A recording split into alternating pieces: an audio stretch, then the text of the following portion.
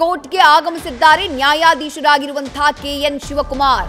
ಅಂದ್ರೆ very shortly Prajwal Revanna ಅವರ ಕಸ್ಟಡಿಗೆ ಸಂಬಂಧಪಟ್ಟ ಹಾಗೆ ಆದೇಶ ಹೊರಗಡೆ ಬರೋದಿದೆ. ಕೋರ್ಟ್ಗೆ ಆಗಮಿಸಿದ್ದಾರೆ ನ್ಯಾಯಾಧೀಶರಾಗಿರುವಂತಹ ಕೆ ಎನ್ ಶಿವಕುಮಾರ್ ನಲವತ್ತ ಎರಡನೇ ಎಸಿಎಂಎಂ ನ್ಯಾಯಾಲಯದ ನ್ಯಾಯಾಧೀಶರು ಕೆ ಎನ್ ಶಿವಕುಮಾರ್. ಎರಡೂ ಕಡೆಯ ವಾದ ಪ್ರತಿವಾದವನ್ನ ಸುದೀರ್ಘವಾಗಿ ಆಲಿಸಿದ್ರು, ಹೆಚ್ಚು ಕಮ್ಮಿ ಮುಕ್ಕಾಲು ಒಂದು ಗಂಟೆಗಳ ಕಾಲ ಎರಡೂ ಕಡೆಯ ವಕೀಲರು. ಸ್ಪೆಷಲ್ ಪಬ್ಲಿಕ್ ಪ್ರಾಸಿಕ್ಯೂಟರ್ ಎಸ್ಐಟಿ ಕಡೆಯಿಂದ ಅಶೋಕ್ ನಾಯಕ್ ಅವರು ಮತ್ತೊಂದು ಕಡೆಗೆ ಪ್ರಜ್ವಲ್ ರೇವಣ್ಣ ಅವರ ಪರವಾಗಿ ವಕೀಲರಾಗಿರುವಂತಹ ಅರುಣ್ ತಮ್ಮ ವಾದ ಪ್ರತಿವಾದವನ್ನ ಮಂಡಿಸಿದ್ರು. ಈಗ ಕೋರ್ಟ್ ಹಾಲ್ಗೆ ಆಗಮಿಸಿದ್ದಾರೆ. ನ್ಯಾಯಾಧೀಶರಾಗಿರುವಂತಹ K N Shivakumar.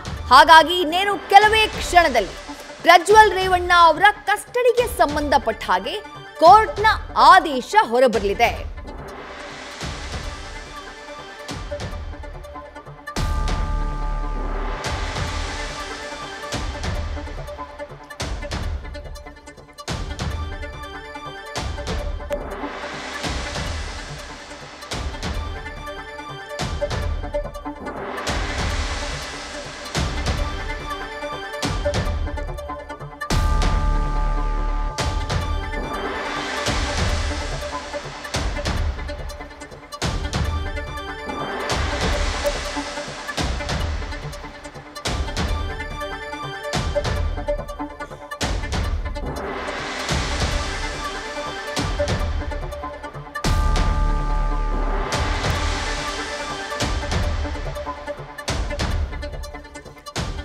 ನ್ಯಾಯಾಧೀಶರಾಗಿರುವಂತಹ K N Shivakumar ಈಗಾಗಲೇ ನಲವತ್ತೆರಡನೇ ಎಸಿಎಂಎಂ ನ್ಯಾಯಾಲಯದ ನ್ಯಾಯಾಧೀಶರು ಕೋರ್ಟ್ಗೆ ಆಗಮಿಸಿದ್ದಾರೆ. ಕೆಲವೇ ಕ್ಷಣದಲ್ಲಿ ಆದೇಶ ಹೊರಬರುವಂತಹ ಸಾಧ್ಯತೆ ಇದೆ.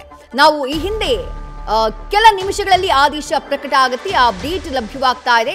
ಈ ಹಿಂದೆ ಎಚ್ ಡಿ ರೇವಣ್ಣ ಅವರನ್ನ ಅರೆಸ್ಟ್ ಮಾಡಿದಂತಹ ಸಂದರ್ಭದಲ್ಲಿ ಅವರನ್ನ ಕೋರ್ಟ್ ಮುಂದೆ ಹಾಜರುಪಡಿಸಿರಲಿಲ್ಲ. ಯಾಕಂದ್ರೆ ಅವತ್ತು ಭಾನುವಾರ ಆಗಿತ್ತು, ಶನಿವಾರ ಅವರನ್ನ ಅರೆಸ್ಟ್ ಮಾಡಿದ್ದು. ಭಾನುವಾರ ಸಂಜೆಯ ನಂತರದಲ್ಲಿ ಅವರನ್ನ ನೇರವಾಗಿ ನ್ಯಾಯಾಧೀಶರ ಮುಂದೆ ಹಾಜರುಪಡಿಸುವಂತಹ, ಅವರ ನಿವಾಸದಲ್ಲಿ ಹಾಜರುಪಡಿಸುವಂತಹ ಕೆಲಸ ಆಗಿತ್ತು.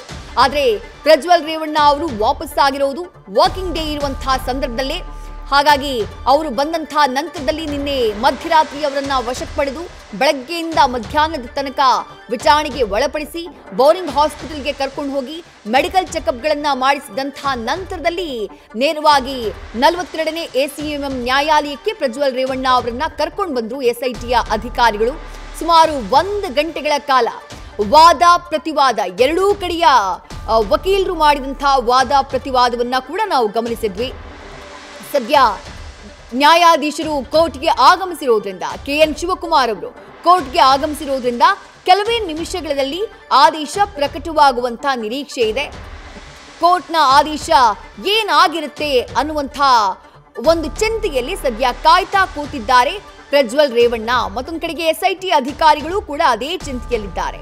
ಪ್ರಕರಣಕ್ಕೆ ಸಂಬಂಧಪಟ್ಟ ಹಾಗೆ ತನಿಖೆಯನ್ನ ತೀವ್ರಗೊಳಿಸಬೇಕು ಅಂದ್ರೆ ಪ್ರಜ್ವಲ್ ರೇವಣ್ಣ ಅವರ ಕಸ್ಟಡಿಗೆ ಸಿಗಲೇಬೇಕು. ಅವರನ್ನ ಕಸ್ಟಡಿಗೆ ಪಡ್ಕೊಂಡು ಮುಂದಿನ ಹಂತದ ತನಿಖೆಯ ಬಗ್ಗೆ ತೀರ್ಮಾನಗಳನ್ನ ತೆಗೆದುಕೊಳ್ಳಲಾಗತ್ತೆ ಯಾವ ರೀತಿ ತೀರ್ಮಾನವನ್ನ ತೆಗೆದುಕೊಳ್ಬೇಕು ಯಾವ್ಯಾವ ಮಾಹಿತಿಯನ್ನ ಕಲೆ ಹಾಕ್ತಾ ಹೋಗ್ಬೇಕು, ಎಲ್ಲೆಲ್ಲಿ ಸ್ಪಾಟ್ ಮಹಜರು ಮಾಡಬೇಕಾಗತ್ತೆ, ಎಲ್ಲೆಲ್ಲಿ ಕೃತ್ಯ ನಡೆದಿದೆ ಅಂತ ಹೇಳಿ ಸಂತ್ರಸ್ತೆಯರು ಆರೋಪ ಮಾಡಿದ್ದಾರೆ. ಅಲ್ಲೆಲ್ಲ ಕರ್ಕೊಂಡು ಹೋಗಿ ಪರಿಶೀಲನೆ ಮಾಡುವಂತಹ ಕೆಲಸವನ್ನ ಎಸ್ಐಟಿ ಅಧಿಕಾರಿಗಳ ತಂಡ ಮಾಡಲಿದೆ. ಹೀಗಾಗಿ ಆದೇಶಕ್ಕಾಗಿ ಸದ್ಯ ಪ್ರಜ್ವಲ್ ರೇವಣ್ಣ ಅವರ ಜೊತೆಗೆ ಎಸ್ಐಟಿ ಅಧಿಕಾರಿಗಳು ಕೂಡ ವೇಟಿಂಗ್ ಕೆಲವೇ ನಿಮಿಷಗಳಲ್ಲಿ ಆದೇಶ ಪ್ರಕಟ ಆಗುತ್ತೆ. ಆದೇಶ ಏನಾಗಿರಬಹುದು ಅನ್ನುವಂಥ ಕುತೂಹಲ ಸದ್ಯಕ್ಕೆ ಮನೆ ಮಾಡಿದೆ. ನಲವತ್ತೆರಡನೇ ಎಸಿಎಂಎಂ ಜನಪ್ರತಿನಿಧಿಗಳ ಕೋರ್ಟ್ನಲ್ಲಿ ನಡೆದಂತಹ ವಿಚಾರಣೆ ಸುಮಾರು ಮುಕ್ಕಾಲರಿಂದ ಒಂದು ಗಂಟೆ ಕಾಲ ಸುದೀರ್ಘವಾದಂತಹ ವಿಚಾರಣೆಯಾಯಿತು. ಆ ವಿಚಾರಣೆಯ ಸಂದರ್ಭದಲ್ಲಿ ಪ್ರಜ್ವಲ್ ರೇವಣ್ಣಾಪುರ ಪರ ವಕೀಲರು, ಆ ದೂರು ದಾಖಲಾದಂತಹ ರೀತಿಯ ಬಗ್ಗೆಯೇ ಪ್ರಮುಖವಾಗಿ ಆಕ್ಷೇಪವನ್ನ ವ್ಯಕ್ತಪಡಿಸಿದ್ರು. ಆ ರೀತಿಯಾಗಿ ದೂರನ್ನ ದಾಖಲಿಸಿಕೊಳ್ಳುವುದಕ್ಕೆ ಹೇಗೆ ಸಾಧ್ಯ? ರೆಡಿಮೇಡ್ ದೂರನ್ನ ದಾಖಲಿಸಿಕೊಂಡಿದ್ದಾರೆ. ಅಂದ್ರೆ ದೂರನ್ನ ಟೈಪ್ ಮಾಡಿ ನೀಡಲಾಗಿದೆ ತನಿಖಾಧಿಕಾರಿಗಳಿಗೆ. ಸಂತ್ರಸ್ತೆ ಹೇಳಿಕೆಯನ್ನ ಕೊಡುವಂತಹ ಸಂದರ್ಭದಲ್ಲಿ ಅಲ್ಲಿ ಮಹಿಳಾ ಅಧಿಕಾರಿ ಕೂಡ ಅಲ್ಲಿ ಉಪಸ್ಥಿತರಿರಲಿಲ್ಲ. ಮಹಿಳಾ ಅಧಿಕಾರಿ ಸಂತ್ರಸ್ತೆಯಿಂದ ಹೇಳಿಕೆಯನ್ನ ದಾಖಲು ಮಾಡಿಕೊಂಡಿಲ್ಲ. ಹೀಗಿರುವಂತಹ ಸಂದರ್ಭದಲ್ಲಿ ಪ್ರಕರಣದಲ್ಲಿ ಷಡ್ಯಂತ್ರ ಮಾಡಿ ಬೇಕು ಅಂತಾನೆ ಕೆಲವೊಂದಿಷ್ಟು ಸೆಕ್ಷನ್ಗಳನ್ನ ಆಡ್ ಮಾಡಬೇಕು ಅಂತಾನೆ ಪ್ರಕರಣವನ್ನ ಸಿದ್ಧಪಡಿಸಲಾಗಿದೆ ಎನ್ನುವಂಥ ಆರೋಪವನ್ನ ಪ್ರಜ್ವಲ್ ರೇವಣ್ಣ ಪರ ವಕೀಲರಾಗಿರುವಂತಹ ಅರುಣ್ ಕೋರ್ಟ್ನಲ್ಲಿ ವಾದ ಪ್ರತಿವಾದ ಆಗುವಂತಹ ಸಂದರ್ಭದಲ್ಲಿ ಮಾಡ್ತಾ ಇದ್ರು. ಸದ್ಯ ಕೆಲ ನಿಮಿಷಗಳಲ್ಲಿ ಆದೇಶ ಪ್ರಕಟ ಆಗತ್ತೆ. ಆ ಆದೇಶಕ್ಕಾಗಿ ಕಾಯ್ತಿದ್ದಾರೆ ಪ್ರಜ್ವಲ್ ರೇವಣ್ಣ ಹಾಗೆ ಎಸ್ಐಟಿಯ ಅಧಿಕಾರಿಗಳು. ನಿನ್ನೆ ರಾತ್ರಿ ಬಂದಾಗ ಅವರು ಯಾವ ಟ್ರ್ಯಾಕ್ ಪ್ಯಾಂಟ್ ಹಾಗೆ ಹೂಡಿಯನ್ನು ಹಾಕೊಂಡಿದ್ರೋ ಅದೇ ಕಾಸ್ಟ್ಯೂಮ್ನಲ್ಲೂ, ಅದೇ ಕಾಸ್ಟ್ಯೂಮ್ನಲ್ಲಿ ಈಗಲೂ ಕೂಡ ಪ್ರಜ್ವಲ್ ರೇವಣ್ಣ ಇರೋದು. ಬಟ್ಟೆಯನ್ನು ಬದಲಾಯಿಸುವುದಕ್ಕೆ ಅವಕಾಶವನ್ನ ಕೊಟ್ಟಿಲ್ಲ ಎಸ್ ಐ ಟಿ ಅಥವಾ ಇವರೇ ನಾನು ಮಾಡಲ್ಲ ಅಂದ್ರು ಗೊತ್ತಿಲ್ಲ, ಬಟ್ ಕಾಸ್ಟ್ಯೂಮನ್ನು ಚೇಂಜ್ ಮಾಡಿಲ್ಲ. ನಿನ್ನೆ ರಾತ್ರಿ ಜರ್ಮನಿಯ ಮ್ಯೂನಿಕ್ನಿಂದ ಬಂದಂತಹ ಸಂದರ್ಭದಲ್ಲಿ ಯಾವ ಬಟ್ಟೆಯಲ್ಲಿ ಪ್ರಜ್ವಲ್ ರೇವಣ್ಣ ಅವರ ದರ್ಶನ ಆಗಿತ್ತೋ ಅದೇ ಕಾಸ್ಟ್ಯೂಮ್ನಲ್ಲಿದ್ದಾರೆ. ಇದುವರೆಗೂ ಕೂಡ ಬೋರಿಂಗ್ ಹಾಸ್ಪಿಟಲ್ಗೆ ಕರ್ಕೊಂಡು ಹೋಗ್ಲಾಯ್ತು. ಅಲ್ಲಿ ಮೆಡಿಕಲ್ ಚೆಕಪ್ನ ಮಾಡಲಾಯಿತು. ಅಲ್ಲಿ ನ್ಯೂಸ್ ಪೋಸ್ಟ್ಗೆ ಸಿಕ್ಕಂಥ ವೈದ್ಯಾಧಿಕಾರಿಗಳ ಮಾಹಿತಿ ಏನು ಅಂತಂದ್ರೆ, ಪ್ರಜ್ವಲ್ ರೇವಣ್ಣ ಅವರಿಗೆ ಅವರ ಆರೋಗ್ಯದ ವಿಚಾರಕ್ಕೆ ಬಂದ್ರೆ ಯಾವುದೇ ರೀತಿಯಾದಂತಹ ತೊಂದರೆ ಇಲ್ಲ. ನಾವು ಎಲ್ಲಾ ಟೆಸ್ಟ್ಗಳನ್ನು ಮಾಡಿದ್ದೇವೆ. ಎಲ್ಲಾ ಟೆಸ್ಟ್ಗಳು ಕೂಡ ನಾರ್ಮಲ್ ಇದ್ದಾವೆ. ಹಾಗಾಗಿ ಅವರಿಗೆ ಯಾವುದೇ ರೀತಿಯಾದಂತಹ ಸಮಸ್ಯೆ ಇಲ್ಲ ಅನ್ನುವಂಥ ಮಾತನ್ನ ಹೇಳಿದ್ರು. ನ್ಯೂಸ್ ಫಸ್ಟ್ ಜೊತೆ ಮಾತನಾಡುವಂತಹ ಸಂದರ್ಭದಲ್ಲಿ ಆಸ್ಪತ್ರೆಯ ವೈದ್ಯಾಧಿಕಾರಿಗಳು ಹಾಗಾಗಿ ವಿಚಾರಣೆಗೆ ಈಸಿಯಾಗಿ ಅವರನ್ನ ಎಸ್ ಐ ಟಿ ವಶಕ್ಕೆ ಪಡ್ಕೊಂಡ್ರು ಕೂಡ, ಎಸ್ ಐ ಟಿ ತನ್ನ ಕಸ್ಟಡಿಗೆ ಪಡ್ಕೊಂಡು ವಿಚಾರಣೆಯನ್ನ ಮಾಡಿದ್ರು ಕೂಡ ಯಾವುದೇ ರೀತಿಯಾದಂತಹ ತೊಂದರೆ ಇಲ್ಲ. ಯಾಕಂದ್ರೆ ಅವರಿಗೆ ಯಾವುದೇ ರೀತಿಯಾದಂತಹ ಅನಾರೋಗ್ಯದ ಸಮಸ್ಯೆ ಇಲ್ಲ ಅನ್ನುವಂತಹ ಕ್ಲಾರಿಟಿಯನ್ನ ಕೊಟ್ಟಿದ್ದಾರೆ. ಸದ್ಯ ನಾವು ಗಮನಿಸ್ತಾ ಇದ್ದೀವಿ. ಕೋರ್ಟ್ಗೆ ಆಗಮಿಸಿದ್ದಾರೆ ನ್ಯಾಯಾಧೀಶರಾಗಿರುವಂತಹ ಕೆ ಎನ್ ಶಿವಕುಮಾರ್. ಕೆಲವೇ ನಿಮಿಷಗಳಲ್ಲಿ ಆದೇಶ ಪ್ರಕಟ ಆಗತ್ತೆ. ಆದೇಶ ಯಾವ ರೀತಿಯಾದಂತಹ ಆದೇಶ ಬರುತ್ತೆ ಅಂತ ಹೇಳಿ ಕಾಯ್ತಿದ್ದಾರೆ ಪ್ರಜ್ವಲ್ ರೇವಣ್ಣ ಅವರ ಜೊತೆಗೆ. ಎಸ್ಐಟಿ ಅಧಿಕಾರಿಗಳ ತಂಡ ಕೂಡ ನ್ಯಾಯಾಧೀಶರ ಆದೇಶ ಏನು ಅನ್ನುವಂತಹ ಕುತೂಹಲದಿಂದ ಕಾಯ್ತಿದ್ದಾರೆ.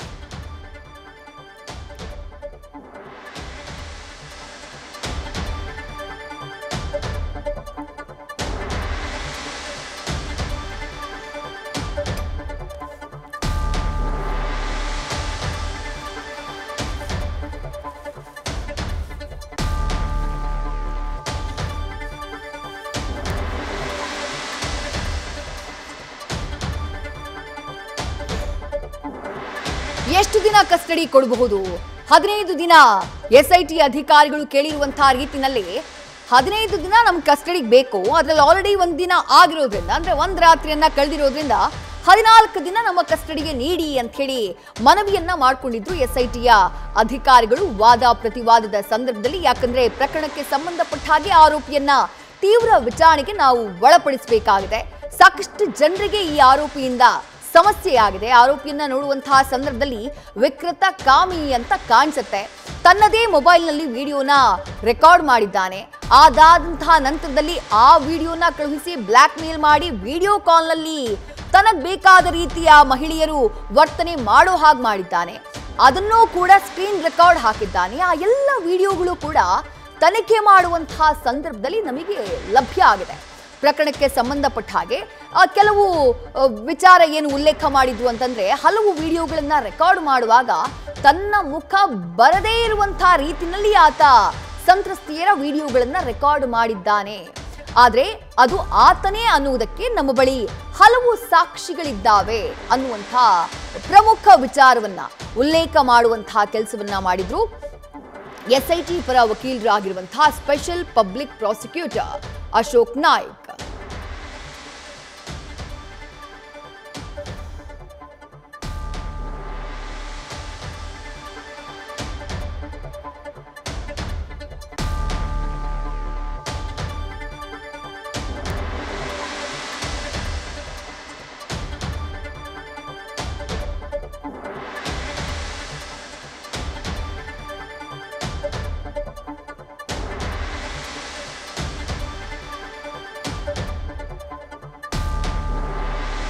ನಲವತ್ತೆರಡನೇ ಎಸಿಎಂಎಂ ನ್ಯಾಯಾಲಯ ಜನಪ್ರತಿನಿಧಿಗಳ ವಿಶೇಷ ನ್ಯಾಯಾಲಯದ ಆದೇಶ ಏನು?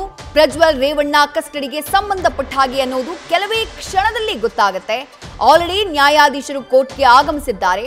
ನ್ಯಾಯಾಧೀಶರಾಗಿರುವಂತಹ ಕೆ ಎನ್ ಶಿವಕುಮಾರ್ ಆಲ್ರೆಡಿ ಕೋರ್ಟ್ನಲ್ಲಿ ಅವರು ಉಪಸ್ಥಿತರಿದ್ದಾರೆ. ಕೆಲವೇ ನಿಮಿಷದಲ್ಲಿ ಅವರು ಆದೇಶವನ್ನ ಪ್ರಕಟ ಮಾಡ್ತಾರೆ. ಕಸ್ಟಡಿಗೆ ಕೊಡುವುದಾದ್ರೆ if in case Prajwal Revanna ಅವರನ್ನ ಎಸ್ಐಟಿ ಮನವಿ ಮಾಡಿದ ಹಾಗೆ ಎಸ್ಐಟಿ ಕಸ್ಟಡಿಗೆ ನೀಡೋದಾದ್ರೆ ಎಷ್ಟು ದಿನಗಳ ಕಾಲ ಕಸ್ಟಡಿಗೆ ನೀಡಬಹುದು ಅನ್ನುವಂಥ ಕುತೂಹಲ ಸದ್ಯಕ್ಕೆ ಮನೆ ಮಾಡಿರೋದು. ಆದೇಶಕ್ಕಾಗಿ ಕಾಯ್ತಾ ಇದ್ದಾರೆ ಪ್ರಜ್ವಲ್ ರೇವಣ್ಣ ಕೋರ್ಟ್ ಹಾಲ್ನಲ್ಲಿ ಅವರಿದ್ರು. ಅವರನ್ನ ನೋಡೋದಕ್ಕಿಂತಾನೆ ಜನ ಕಿಕ್ಕಿರಿದು ಸೇರಿದ್ರು ಅನ್ನುವಂಥ ಮಾಹಿತಿಯನ್ನ ಕೂಡ ನಾವು ನಿಮಗೆ ನೀಡಿದ್ವಿ. ಸದ್ಯ ಆದೇಶಕ್ಕಾಗಿ ಪ್ರಜ್ವಲ್ ರೇವಣ್ಣ ಕಾಯ್ತಿದ್ದಾರೆ. ಅವರ ಜೊತೆಗೆ ಎಸ್ಐಟಿ ಟೀಮ್ ಕೂಡ ಕೋರ್ಟ್ನ ಆದೇಶ ಏನಿರುತ್ತೆ ಅನ್ನುವಂತಹ ಕುತೂಹಲದಿಂದ ಕಾಯ್ತಾ ಇದೆ. ಯಾಕಂದ್ರೆ ಆರೋಪಿಯನ್ನ ತೀವ್ರ ವಿಚಾರಣೆಗೆ ಒಳಪಡಿಸೋದು ಇಂಪಾರ್ಟೆಂಟ್ ನ್ಯೂಸ್ ಫಸ್ಟ್ ನಿರ್ಭೀತಿಯಿಂದ ನಿಮ್ಮ ಪರವಾಗಿ.